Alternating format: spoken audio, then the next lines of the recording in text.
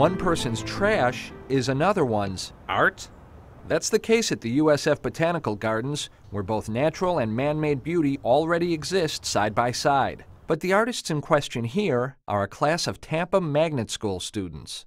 We cut an orange Fanta soda can, a couple of them, and we formed it into sort of something, a flower nub or whatever.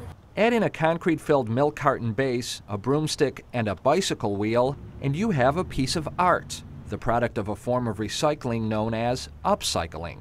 With the upcycling, you're turning it into something better than it once was. So taking this bicycle wheel, doesn't have its tire on it anymore, maybe it could be melted down for scrap metal and turned into something else, but we're taking it in its current state and making it into something beautiful better than it was before.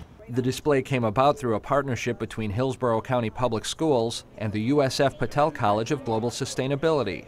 If we're really going to survive as a race, it's really the young people that you know you try to sort of from a very young age educate them in some of these ideas so it becomes normal practice for them. It's, it becomes a way of life.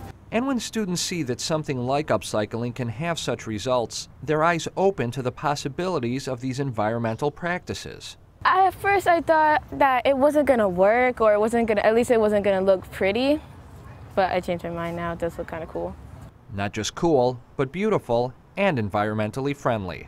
For University Beat, I'm Mark Schreiner. For more information about the upcycled art, log on to WUSF.org and click on the University Beat link.